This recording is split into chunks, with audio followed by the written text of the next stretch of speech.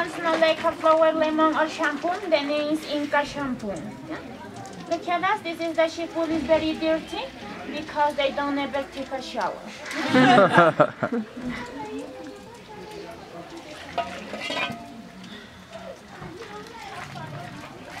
This is the dirty water we use for different plants. For flower is good because it's natural, no chemical. Yeah? It's organic.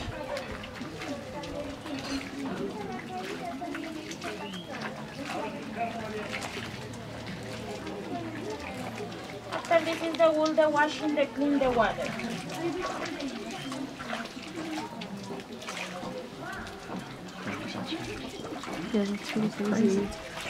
Look at us, you can see the different before and after. Yeah? This is the wood is very clean.